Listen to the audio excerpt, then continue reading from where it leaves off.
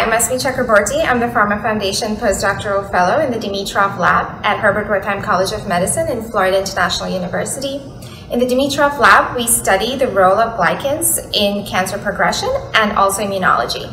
My project primarily focuses on metastatic melanoma and in understanding how the glycome interacts with the tumor microenvironment and leads to disease progression.